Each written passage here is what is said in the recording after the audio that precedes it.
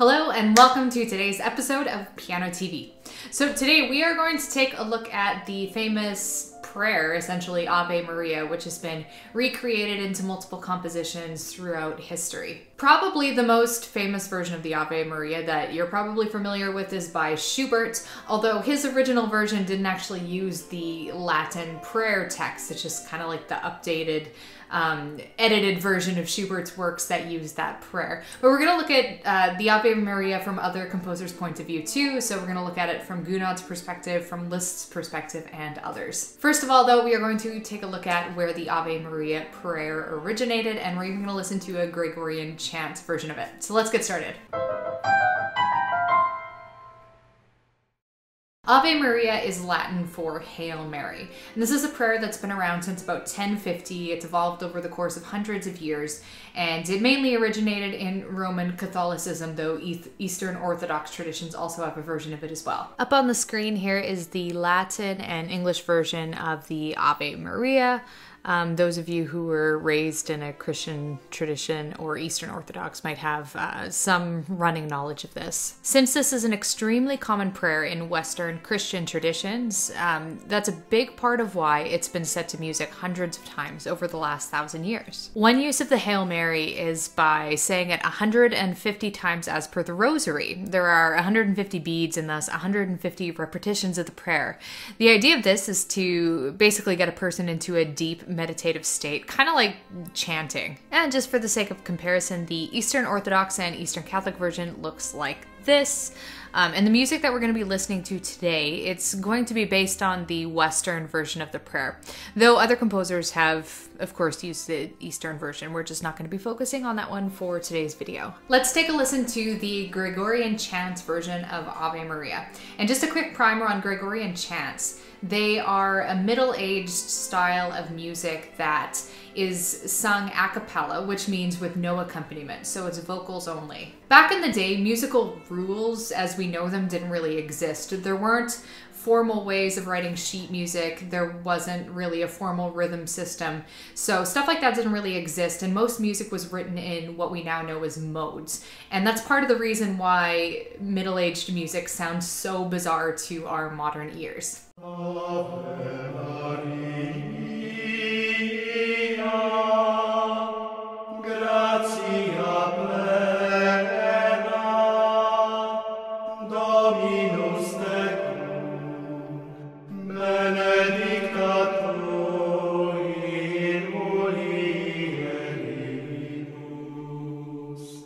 Let's start with Franz Schubert's Ave Maria, by far the most famous version.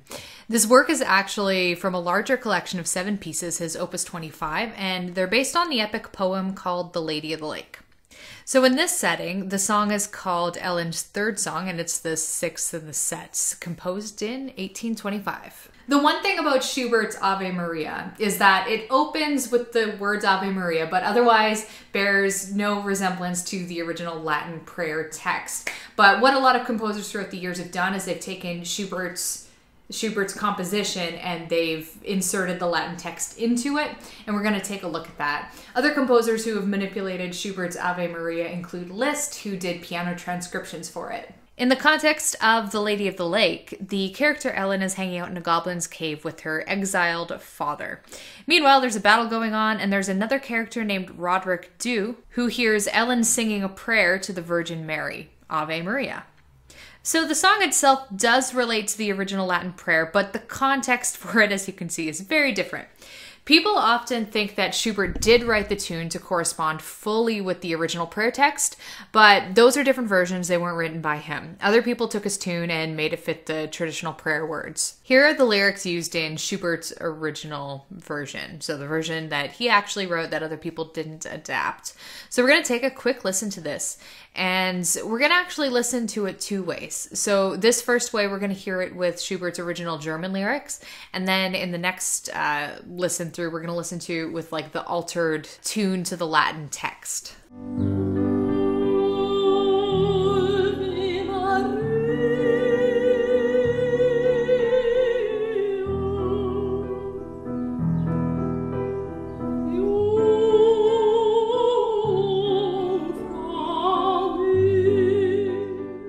Now, if we take a quick listen to the altered version, you'll notice it's pretty much virtually identical, but the text has been changed to the original Latin prayer of Ave Maria.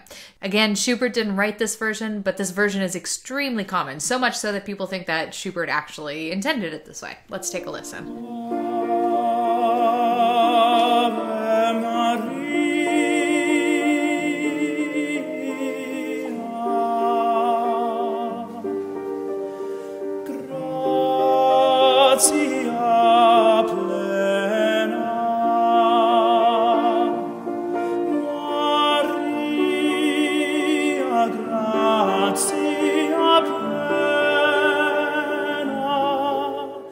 Ave Maria has been used many times in the media and pop culture, most notably in the movie from 1940 Fantasia, which has a lot of great classical music in it. It was also performed at John F. Kennedy's funeral, and it's been featured in TV shows all the way from Community to Bob's Burgers to Supernatural. The piano composer Franz Liszt was a deeply religious man throughout his life and he was so religious that he even almost became a priest like he took the orders but never finished and this prompted him to write a lot of spiritually inspired music, including his own two versions of the Ave Maria. His first version was written in 1846 when he was at the height of his fame. He was at the peak of his rock stardom in Europe and he was touring a bunch and he was really famous. It was written for six part mixed chorus, so there was uh, two sopranos, an alto, two tenors, and a bass. Usually, when we talk about Liszt, it's in the context of his piano works, so it's really fun to talk about him and his choral works, which we don't usually talk about too too much. You'll notice that his version features a repeating of the text, so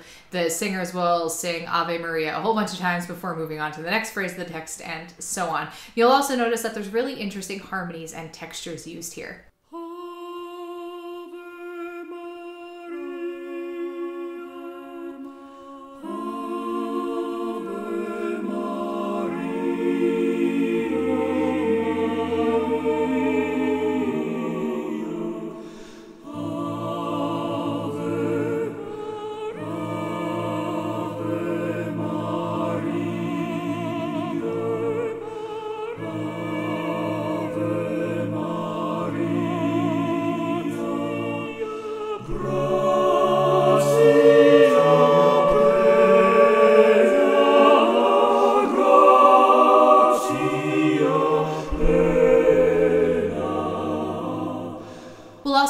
Quick listen to his second choral version, which was written for four voices this time, and it was written half a step lower. So it's it's similar in a lot of ways. I feel like it's a little bit more mature than his work from six years earlier, but it's still fairly conventional in its style.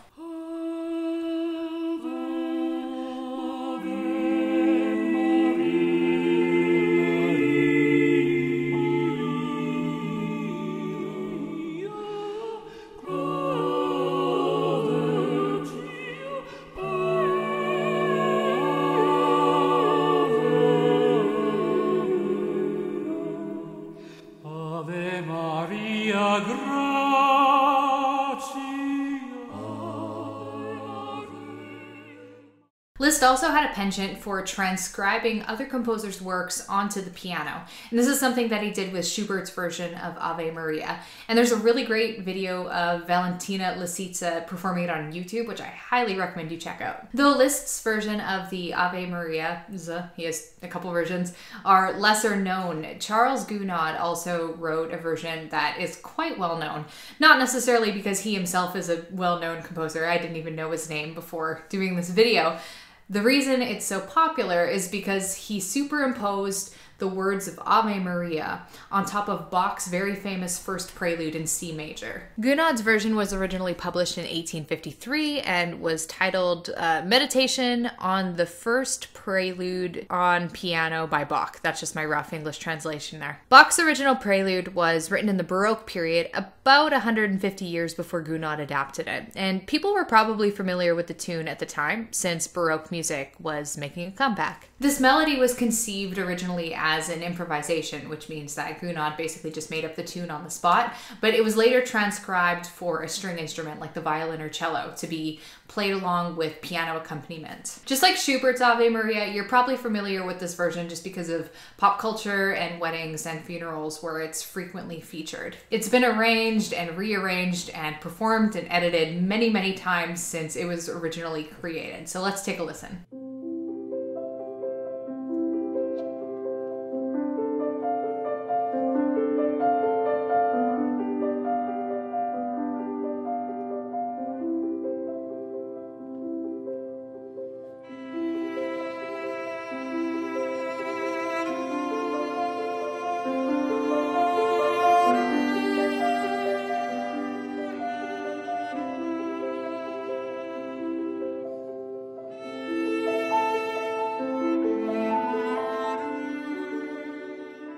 The final composer we'll look at today is Anton Bruckner, who wrote three different settings to the Ave Maria. We'll be looking at the second setting today, WAB 6, which was composed in 1861 for seven unaccompanied voices. So, usually a choir will be soprano, alto, tenor, bass. So, this was that with all of the four voices doubled except for the soprano. This was originally performed at the Old Cathedral in Linz, where Bruckner was the organist. This motet is a callback to Gregorian chants because of the use of modal chords and really long phrases, but it also has some romantic qualities embedded in it as well, such as like dramatic contrasts and more interesting harmonies.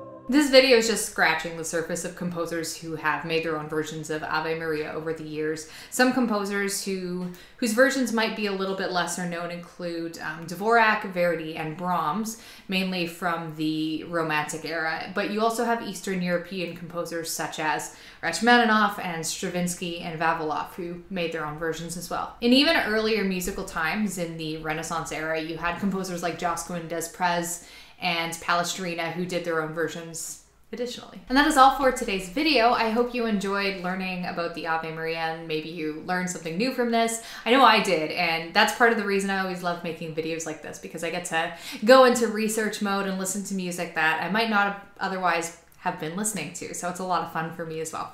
If you like this video, please a, give it a thumbs up and you can visit me on social media, on Instagram, Facebook, Twitter, the usual. Not usually super active on them, but like every now and then I have a mood, so you never know. Catch you in the next video.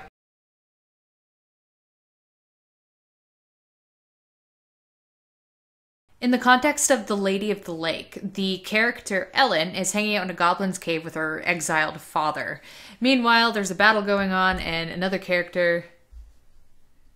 Oh, that didn't work very well.